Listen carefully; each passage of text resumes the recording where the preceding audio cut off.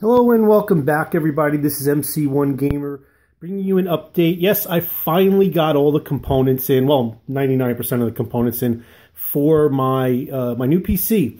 And I didn't go obviously for top of the top shelf, top of the line for everything, but I got a reasonably good computer. I wanted a computer that I could, you know, pass for gaming, uh, but also uh, something that was going to upgrade what was really an aging system. That's my Decepticons case. Uh, this is probably about five years old.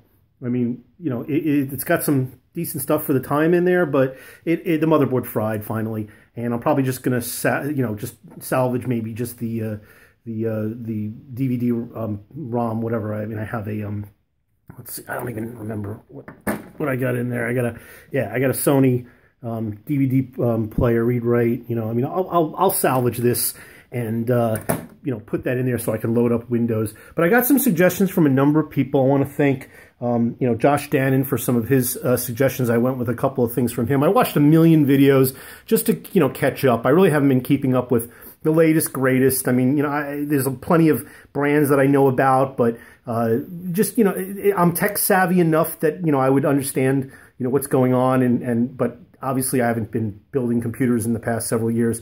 So I didn't know what cool cases there were. I thought about getting a fractal case, you know, the R4, the R5, because it was really silent. And this behemoth has got like six, it's got a bunch of fans in it, uh, but it, it, has one Zalman um, CPU cooler fan that just sounds like a rocket engine. And I wanted to go with something quiet.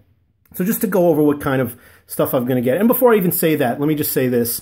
Uh, you know, I'm the, the, the reason why I have not had bat reps is because I've been only working off of uh, you know mobile devices. I don't know how people survive with just mobile devices and don't have a desktop computer and they just have you know a tablet or you know the phone that I'm working off of. I have a watch which is nice, but you're not computing off of a watch.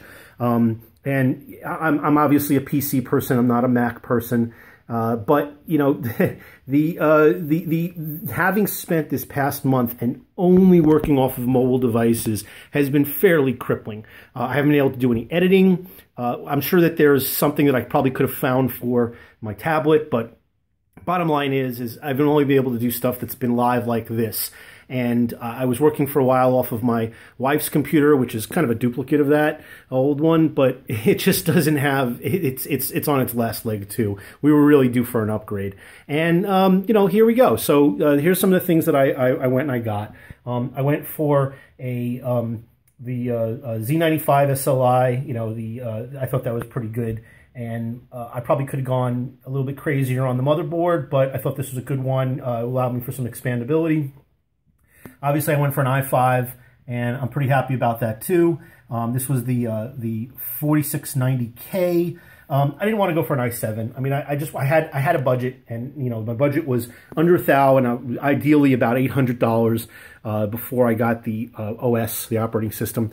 So that was what I tried to stick to. And the one thing I'm missing here is the solid state. I'm going to get a Samsung solid state drive, and uh, uh, I'll get about you know 128 gig, uh, either the 850 Evo or Pro. I'll see what I can uh, afford. You know, I'll throw that in there, and that'll be for some you know for the operating system, quick load up, maybe a couple of games for some speed. Um, I went for a um, the the seems to be the, the standard best aftermarket, you know, cooler for the CPU, the Hyper 212.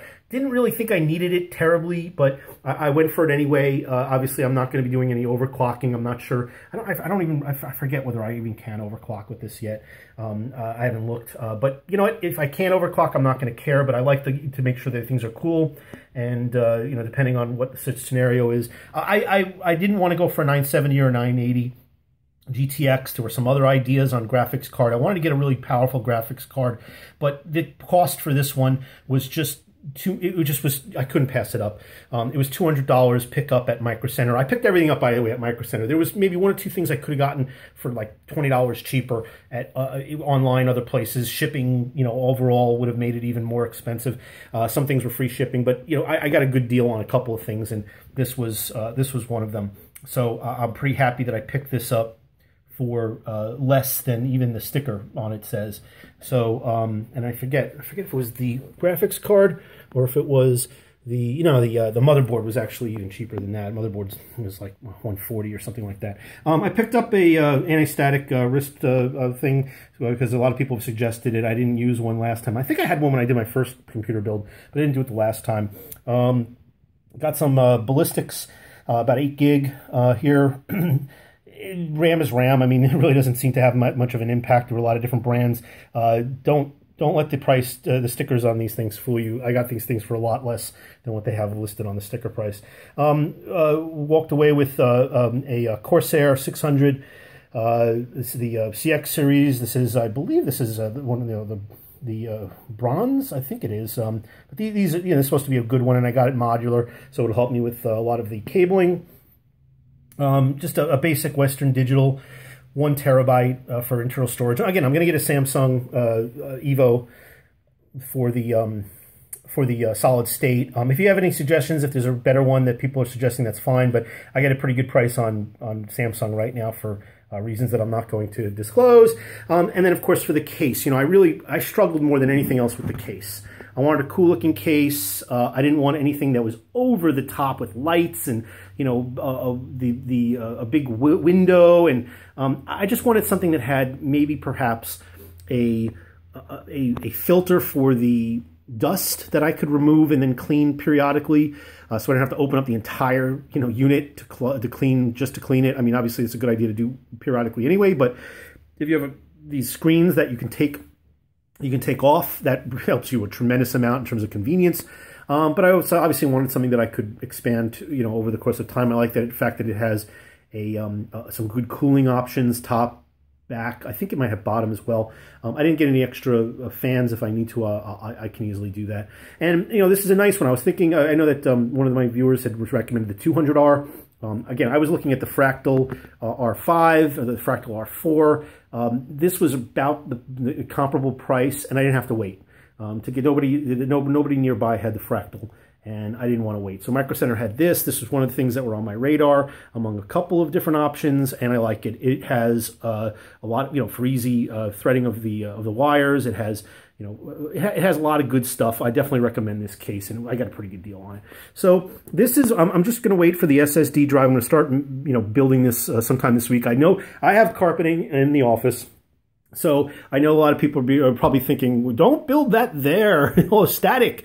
Uh, no, I'm not going to be building this here. Um, I was thinking maybe I put down some, you know, card, uh, some some cardboard uh, sheets uh, and do it here. This is really where it's convenient, but I've got a kitchen. I've got some other areas. Unfortunately, my wife wanted carpeting throughout the house, so we've got a lot of carpeting. Uh, but there's plenty, there's spaces where I can do this uh, and and make sure that I'm not building up a lot of static energy. Not that that probably would be that huge of a deal, but hey, why take chances? So um, I'm going to build this up. So you, you sometime in the next couple weeks, you'll start seeing some more bat reps from me. Some of them a little bit more better, better edited.